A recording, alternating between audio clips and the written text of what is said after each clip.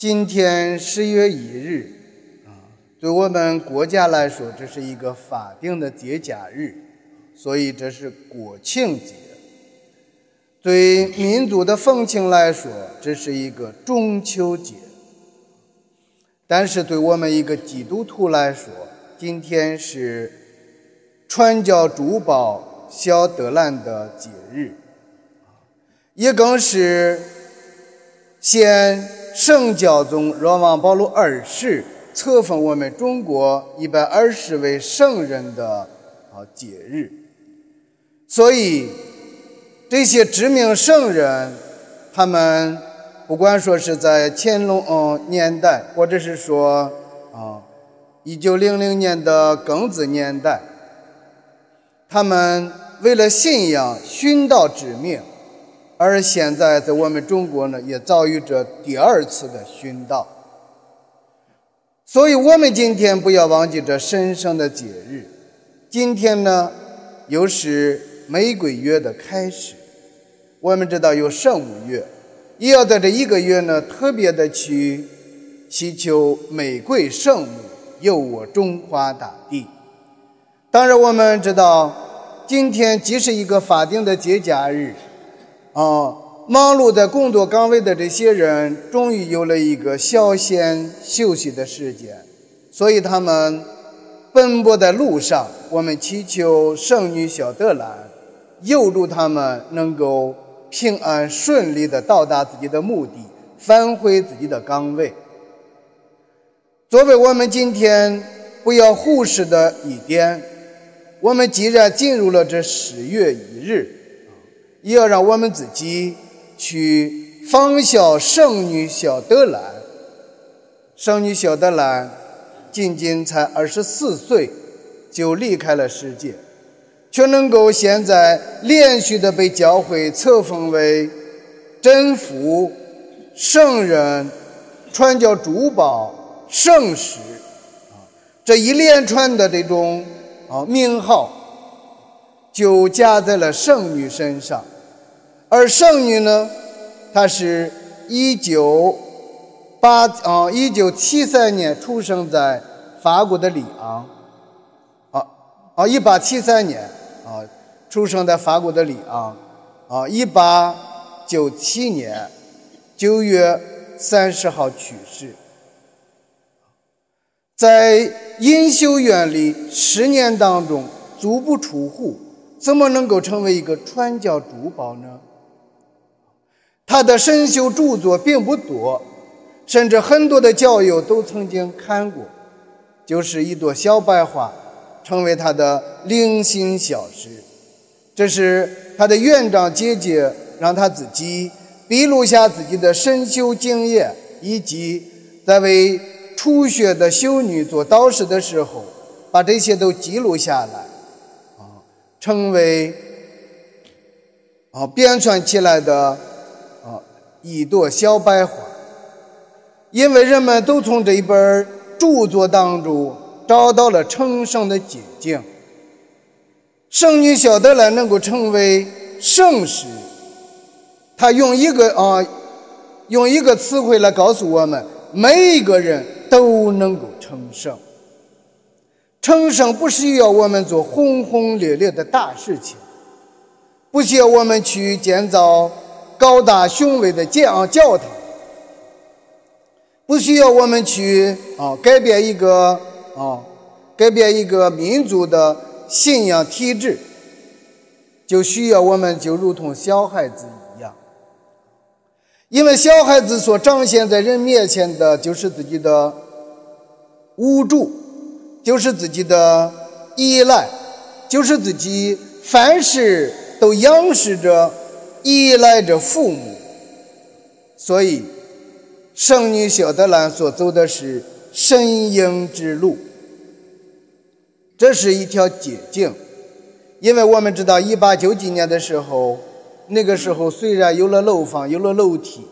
咱刚刚才说啊，新闻的有一些电梯，他就想着自己能够直达天庭。现在我们知道了，走楼梯多么慢呢？啊，有精修的，啊，有隐修的，甚至啊有到处传教的，而小德兰呢，却要想寻找一条通向天父的捷径，最捷径、最短的一条路途，那就是说，乘坐着电梯，这条神鹰之路，是要让我们每个人都认识到我们自己的无能，都认识到我们自己的弱小，都能够。去依赖天主，圣女小德兰在修院当中，她也是苦思冥想的寻找成圣的捷径。有一天，她在马窦福音，也就是我们今天所宣读的，听到了门徒们来到耶稣面前争论大小的时候，啊，耶稣却教过一个小孩子，并且。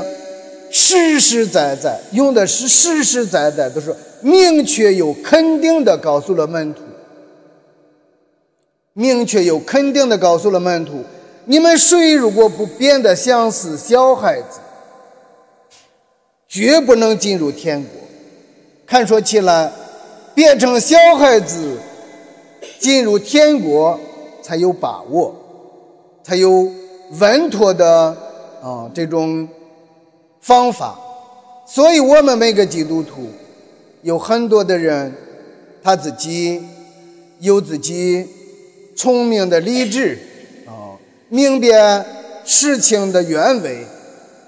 所以他们自己去评价人、谈论人、说事论事。唯有那些小孩子呢，凡事都依赖，凡事都呼求，凡事呢。都相信把天主放在了最前边，所以我们看到圣女小德兰找到了这种啊这这条捷径，我们也应该祈求圣女小德兰，让我们也能够毅然决然的方孝圣圣女的方总，走捷径。在今天的以赛亚先知书，我们看到天父。就如同一个母亲一样，孕育母亲的啊一个母亲。我们知道，婴儿以什么为自己最大的喜乐呢？婴儿最大的喜乐，就在于母亲当中允许着乳汁，啊，吃饱了喝饱了，安详的睡在母亲的怀抱之中。这个图像是多么美好呢？这个图像也是我们每个人都向往着，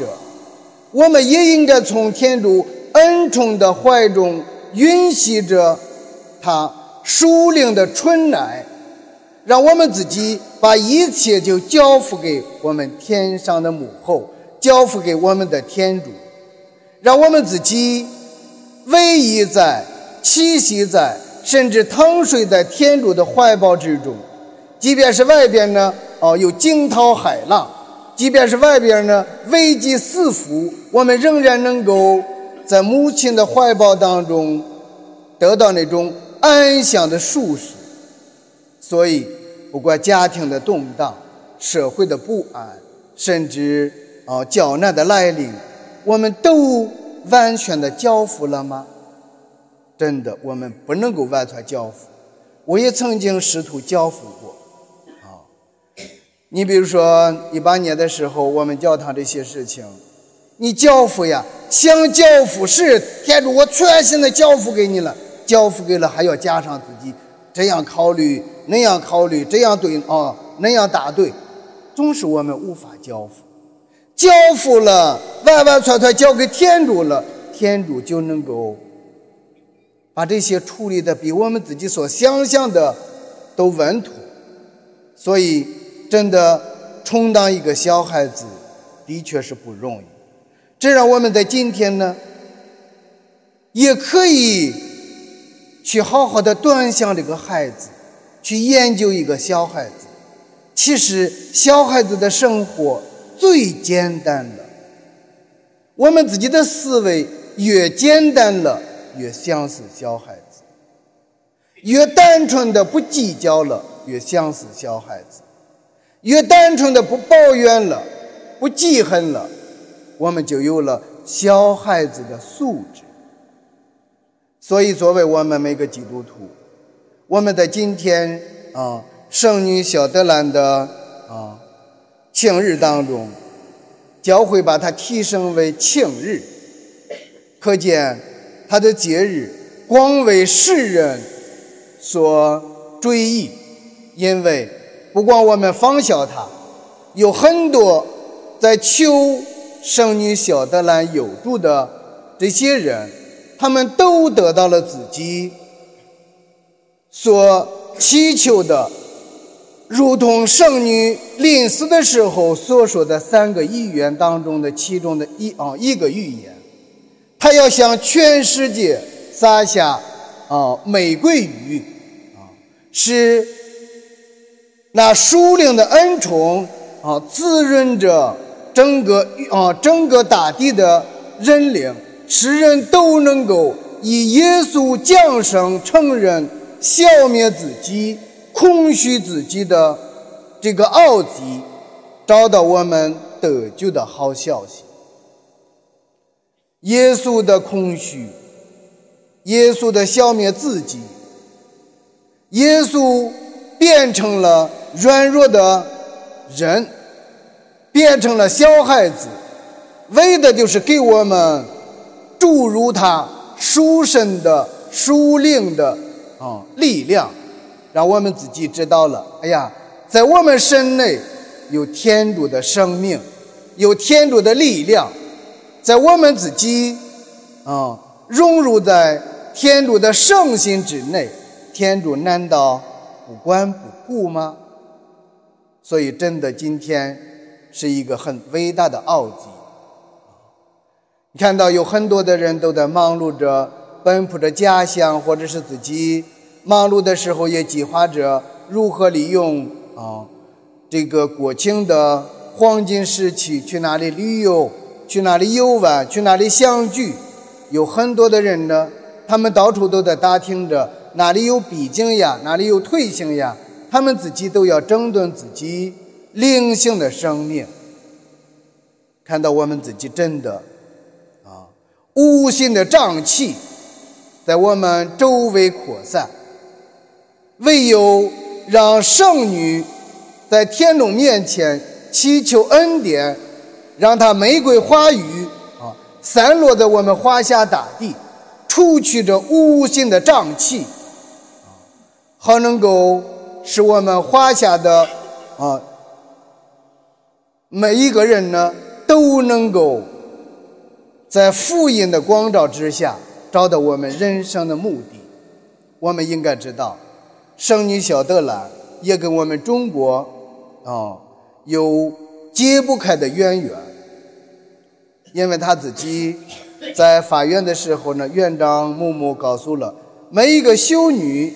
都要特别的为一个神父、传教神父专一的为他祈祷。